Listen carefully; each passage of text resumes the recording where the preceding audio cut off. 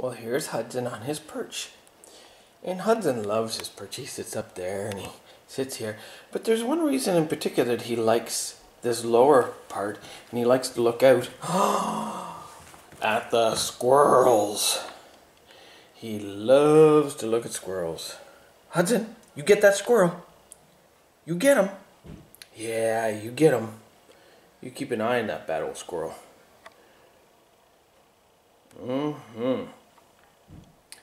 Arleen feeds him bread and peanuts, and he usually takes the peanuts away and comes back for bread.